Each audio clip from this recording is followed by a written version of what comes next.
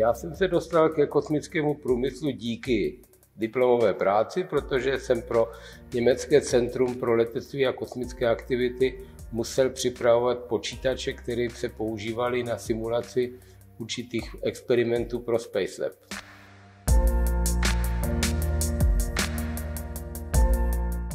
Já jsem pracoval od roku 75 de facto na všech německých eh, vesmírných akcích a de facto to trvalo až do roku 2006, kdy jsem přešel do České republiky a začal jsem se zabývat pro problémem Galileo.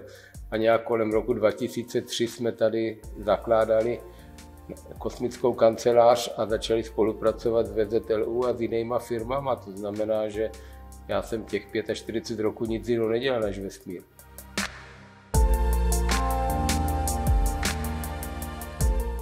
No já myslím, že dneska je to úplně jináčí situace. Dneska je de facto eh, to, co se týká vesmíru, kosmických aktivit, tak je to plnou součástí hospodářské strategie každé vyspělé země. Evropská unie podporuje vesmír. My vidíme, že naposledy to bylo navýšení rozpočtu pro kosmické aktivity ve vesmíru. My má, jsme členové jako Česká republika 10 roků, teď je 11 roků EZI, my, má, my tady máme GSA, eh, počet firm, který vlastně, když to vezmeme, tak 2003-2004, tak tady bylo 5-6 firm, dneska máme 60-70 firm, které si vážně vesmírným programem zabývají.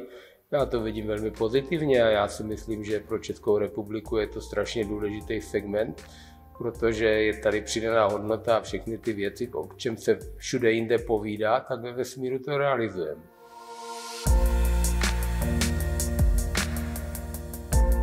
No tak vyvíjet se bude tak, že vlastně ještě v Evropě máme celkem velmi silnou de facto institucionální a nebo národní politiku ve vesmírných věcech. V Americe už se ten směr ukazuje, že soukromé firmy jsou schopny financovat, vyvinout a dělat zařízení, které dřív byly předurčeny jenom národním nebo evropským zájmům.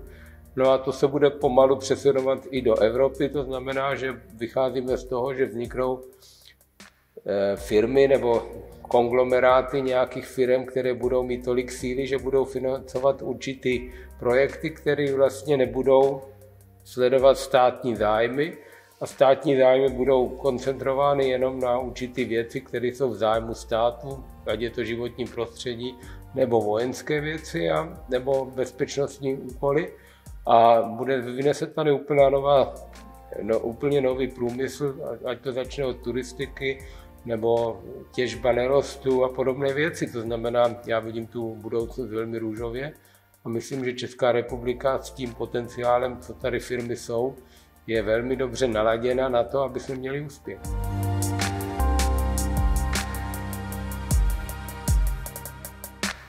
Tak já bych řekl, že mít oblíbeného kosmonauta nebo oblíbenou misi když v tom 40 roku pracujete, je to velmi těžké, protože každá nová mise je něco zajímavého.